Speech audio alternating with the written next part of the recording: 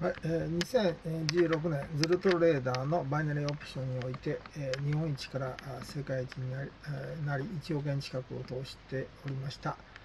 あー世界、え GBPJPY ーバイナリーオプションスペシャリスト者のハンマイヨウ先生です、えー今回ですね、下に、売る、えーえー相関係数ですね、えーバイナリーオプションでもあ利用するということですね。あの2つの通貨国鞘取引ですね。えーで2つからあの鞘利益、えーチャートというのが出ますね。えーこのチャートとですね、えー通貨国1個でやりますから、バイナリーオプションの場合は、あと同じに考えていただければいいわけですね。えー上下の変動の、えーボリンジャーバンド以上越し、ある設定のボリンジャーボリンジャーバンドを越した時のシグナルで、えー投資して、えーその勝率のいいもの、そしてですね、えーえー相関係数、えーのですね2つではありませんけど1つで結果の出た鞘取引の利益の相関係数と同じような形にね、えー1に近くなると非常にいいというふうなことでね分析をしております。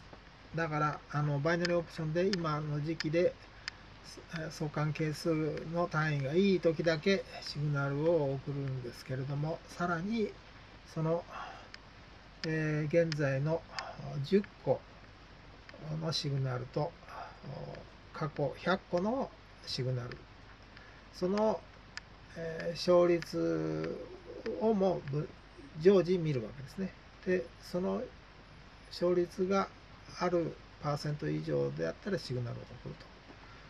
相関係数を求めてね、えーいい時にシグナルを出させた上に勝率も現在とちょっと前までの分析の比較でもってね投資するようになってますね。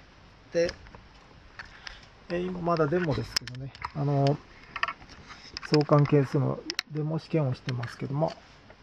であとその15分で出してる30秒バイナリーオプションはね、えー15分でも対応できるんですけれども、30秒でやるときは、その、あとあと15分後ですね、えーに上がっていくよというようなことを目安に打っていくわけですね。で、直15分の場合はそのままそう、このようにね、打ってもいいわけなんですけども、ここら辺のね、えーえー、良し悪しの設定がね、何がいいのかというのことを見てます。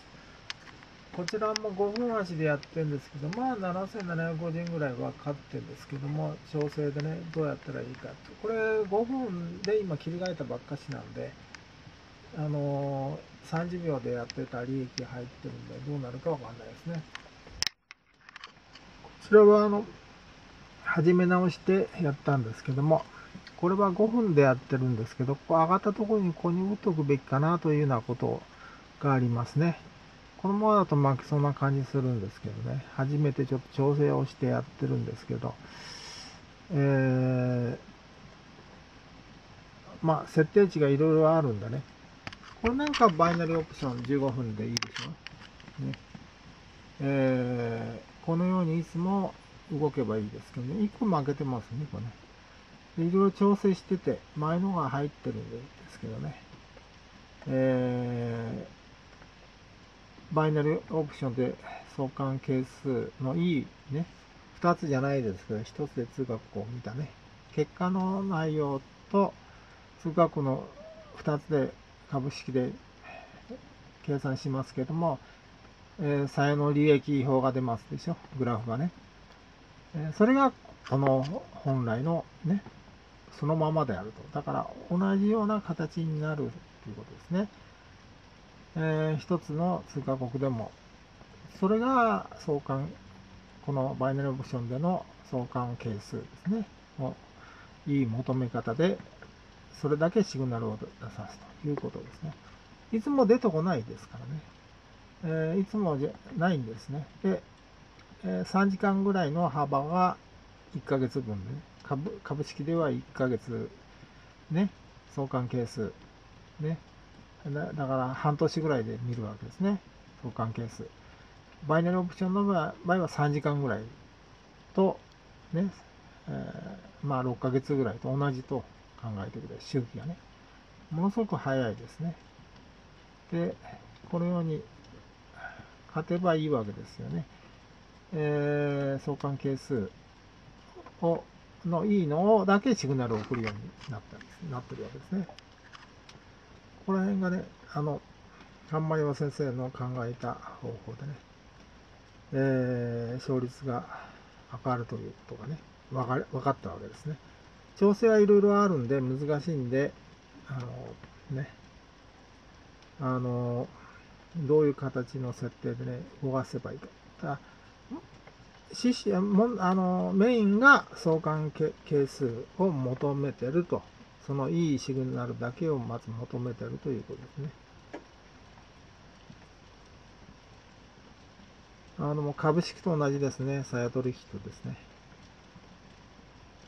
ただ2つ取らないんで保険取るわけじゃないんですよね。バイナリーオプションの場合は。それ注意してくださいね。保険はあのかかってません。バイナリーオプションの場合はね。ね。えっ、と、これかかってますでしょうかね。残り15秒。ね。これデモですね。デモでやってますので。